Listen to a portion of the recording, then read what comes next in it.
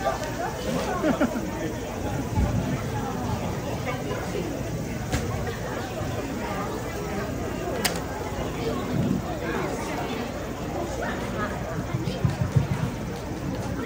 は改めましてドレッシングさんのプロフィールも皆さんご存知かと思いますがご紹介いたします。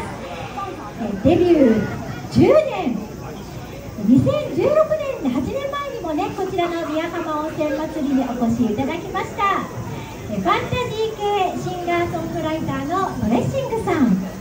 広島松田スタジアムで国歌を斉唱されました。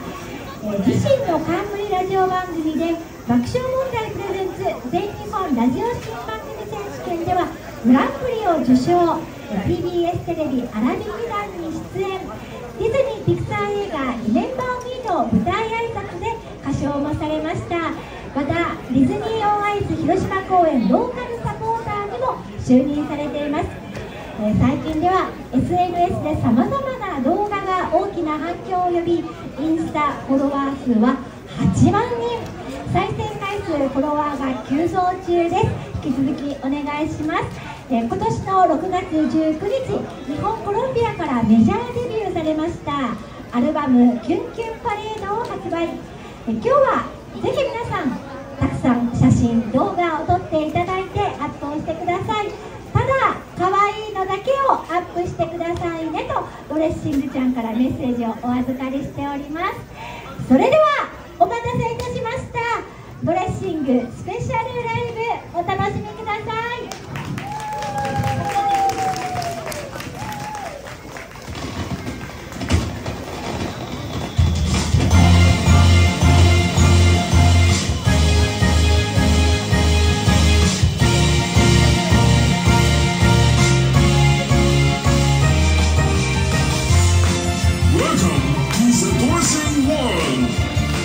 皆様ようこそファンタジーな世界へ。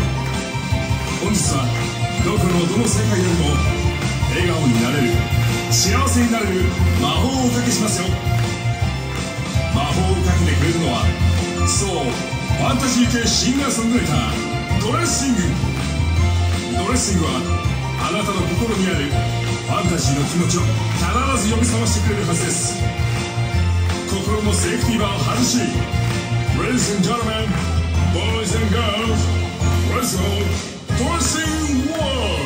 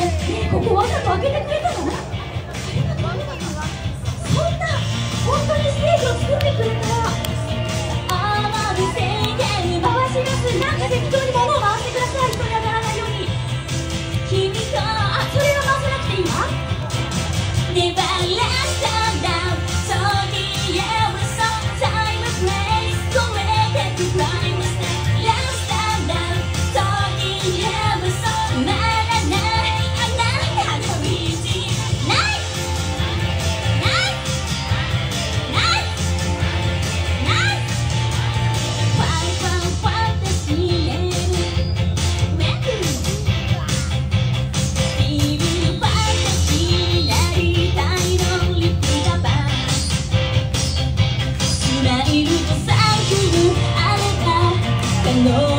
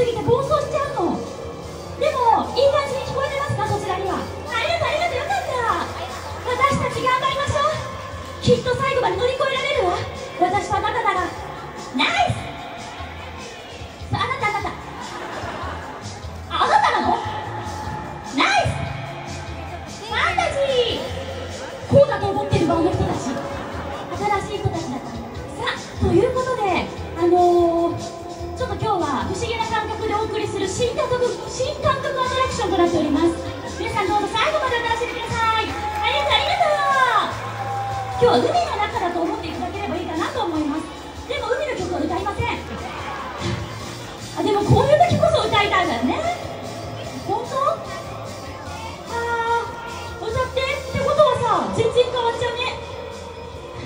曲も変わっちゃう、うん、ということで暑いですか？皆さん。あー暑いとありがとうありがとう。さっきの「ネバーランド」っていう曲あったじゃん。謎の英語を喋ってるやつ。あれほとんど意味ないの作った時になんか語呂がいいなと思って作ったんだけどこんなにね海外の方があの日本に来てくれるようにな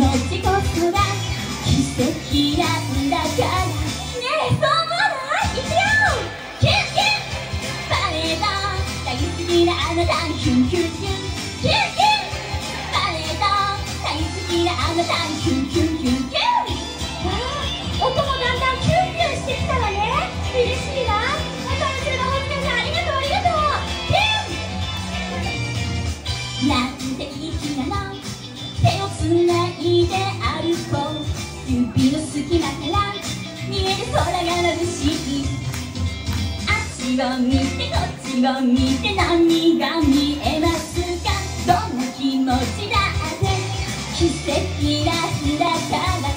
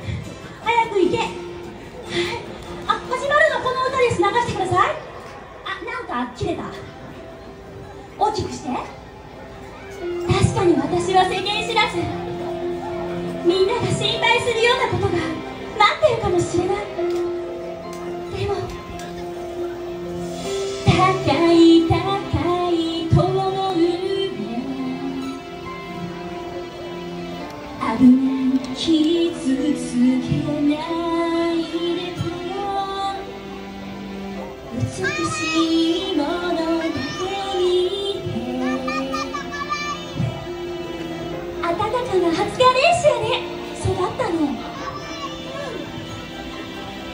やがり流れ魔法の神憧れ